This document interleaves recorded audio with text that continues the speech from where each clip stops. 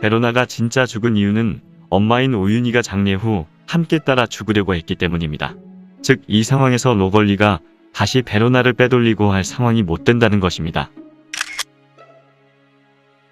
다음 별은 약물을 먹고 정신이 온전치 못했습니다. 그런데 회상신이 정상일 수 있을까요? 아마도 진실과 망상이 뒤섞였을 것입니다. 뿐만 아니라 5회 마지막 장면에서 하은별은 계단 위에서 분명히 양 날개가 모두 있는 트로피를 들고 있는 듯 보였습니다. 그리고 베로나는 밀려 떨어질 때도 떨어진 후에도 머리에 트로피 날개가 박혀 있지 않았습니다. 또한 6회 회상신에서도 하은별이 계단을 내려가는 순간에도 베로나의 머리에는 날개가 역시 박혀 있지 않았습니다.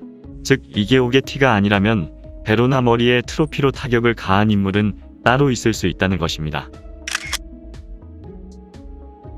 하은별이 베로나와 몸싸움을 벌인 후 트로피를 들고 교실로 들어왔을 때 소방 사이렌 소리가 울립니다.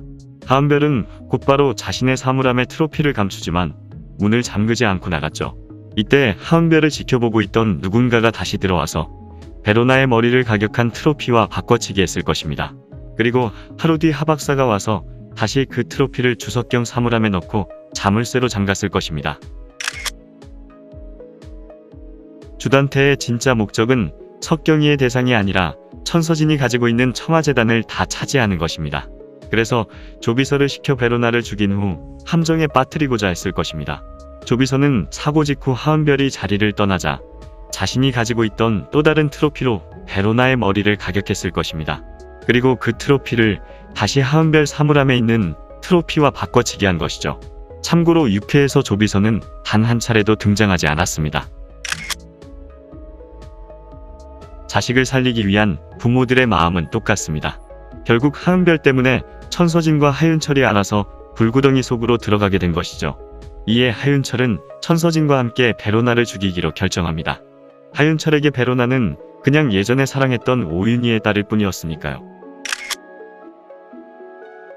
6회를 보신 분들은 아시겠지만 형사 역할로 나온 이시연의 표정이 정말 거슬렸을 것입니다. 그런데 그 표정이 모든 사실을 말해주고 있었죠.